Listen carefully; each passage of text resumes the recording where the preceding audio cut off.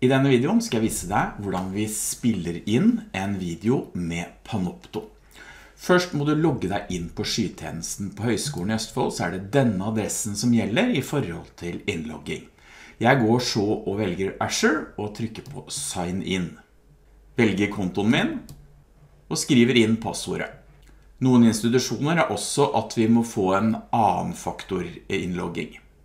Jeg trykker på godkjenning her da har vi kommet inn i Panopto, og det ser nok litt annerledes ut hos meg enn hos deg. Men det vi har begge to, det er denne Create-knappen, så jeg trykker på pil nedover her på Create. Og her er det to måter du kan spille inn en video. Enten ved å spille inn videoen i nettleseren, eller å laste ned en liten programvare og spille inn den på din Windows datamaskin. Først klikker jeg her på Panopto for Windows. Jeg har brukt den tjenesten tidligere, så hos meg så jeg, slipper jeg å laste ned dette lille tillegget som du må gjøre første gangen du bruker programvaren. Så må du bestemme hvor skal denne videoen lande enn. Her ser du at jeg har en del forskjellige kataloger, eh, og du kan eventuelt opprette egne. Jeg velger i dette tilfellet IKT-MOOC. Så må du gi inn et filnavn. Der foreslår du utgangspunktet dagens dato. Du skriver inn titelen på din fil. Jeg kaller min spill inn video i Panopto. Så skal vi titte på noen av valgene som kommer under her. Da velger man her, hvis du har flere webkamera koblet til din datamaskin, sånn som jeg har. Jeg velger en som heter Camlink. Og så kan du velge mikrofon. Mange har også flere mikrofoner. Jeg velger riktig mikrofon. Det er viktig å prøve å teste det på forhånd, og det gjør jeg ofte. Hvis du ser borte til høyre her, så har jeg et meter som går opp og ned, og så er jeg stille, og så slår jeg på mikrofonen. Og da får jeg et lydmeter som går opp. Dette er for å identifisere at jeg har valgt riktig mikrofon. Så er det kvalitet her. Jeg av prinsipp spiller alltid inn i høyest mulig kvalitet. Den skal jo kanskje leve lenge. Så har jeg et valg her som heter Capture Computer Audio, og det betyr så vil du ønske å ha med PC-datamaskinlyden din i opptaket, og jeg sier ja til det, eh, så kan jeg velge om jeg skal spille inn en PowerPoint, om jeg skal spille inn selve skjermen.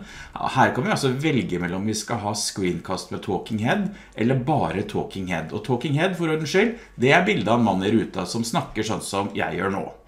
Jeg skal bare ha en video, så jeg tar vekk selve skjermopptaket akkurat nå, og gjør meg klar til innspilling. Så ser jeg inn i kamera og trykker på record, og du vil se oppe til venstre hver gang jeg klikker at klokka begynner å gå. Det kan kanskje være greit å vente et sekund, slik at eh, maskinen rekker å starte opptaket. Da er vi i gang med et opptak i Panopto. Og jeg trykker på pauseknappen oppe til venstre. Den er veldig kjekk hvis du er litt usikker på hva du skal si. Jeg pleier ofte å skrive ned den siste setningen jeg sa, og så leser jeg den, og så trykker jeg opp pause, resume, som man nå heter da, for å starte opptaket igjen. Det er for at det skal være en søvnløs overgang mellom forrige klipp og dette klippet, slik at ikke brukeren oppdager at det har vært en pause. Og så snakker jeg videre og prøver å sitte på omtrent samme sted. Trykker på stopp når jeg er ferdig. Kan også trykke på F10-knappen hvis du ikke ønsker å føre musa opp til det stedet på skjermen der du vil stoppe. Da har jeg muligheten til å skrive inn en beskrivelse av hva dette er. Det behøver man ikke å gjøre. Jeg kan trykke på Delete Record igjen, og så kan jeg trykke på Done. Og det gjør jeg nå. Nå tar det litt tid mens videoen lastes opp til server og bearbeides. Dere ser nå at det begynner å gå en progresjonsbar som er hos meg på 0% akkurat nå. Nå har det gått cirka ett minutt, og nå er den ferdig med å laste opp. Her har jeg litt forskjellige valg. Resume, da kan jeg gjenoppta opptak, jeg kan dele den, jeg kan editere den, gjøre enkel videoredigering, eller jeg kan se på resultatet. Jeg velger nå å trykke på View, og får da en forhåndsvisningsskjerm som jeg går her på Play nede i venstre hjørne for å se på filmen. Da er vi i gang med et opptak i Panop. Nå har jeg spilt inn videoen, og nå er da spørsmålet hvordan deler vi denne? Jo, det kan vi gjøre på flere måter. Eh, vi går opp på dette ikonet her som heter Share. Eh, her oppe går man inn på Who can access this video? Og da kan jeg gå inn på Change. Og da kan jeg velge om folk, eh, ingen skal ha tilgang, om folk fra min organisasjon skal ha tilgang, eh, men at den ikke er oppført noe sted. Så kan jeg gjøre sånn at eh, andre på min institusjon kan søke den fram, eller så kan jeg legge den ut offentlig, men ingen kan søke fram videoen, eller så kan jeg legge den fram public, og da kan alle i verden se den, og de kan også søke, og filmen kan bli funnet av Google. Jeg velger public.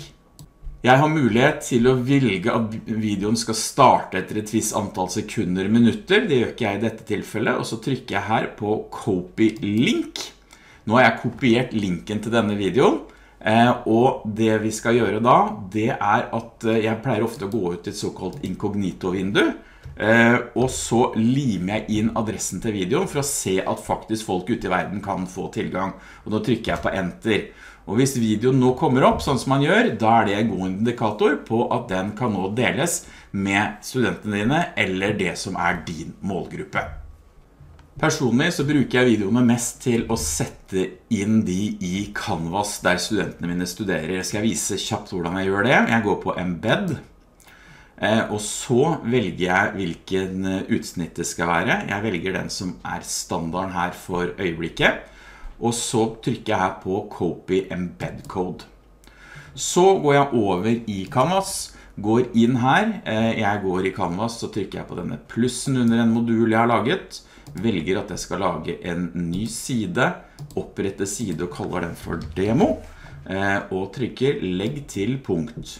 Så går jeg inn i denne siden demo, som er en helt tom side, trykker på rediger for å redigere den siden. Her kunne jeg skrivet inn skrift på vanlig måte, men det jeg skal gjøre, jeg skal legge inn denne embed-koden, HTML-koden, så jeg trykker på dette ikonet, eh, og går inn der jeg vil lime inn videoen, tar Ctrl V for å kopiere inn denne iframen som det heter, og så trykker jeg på lagre. Og det dere vil se nå, her er Panopto-videoen såkalt embedda, ser veldig profesjonelt ut.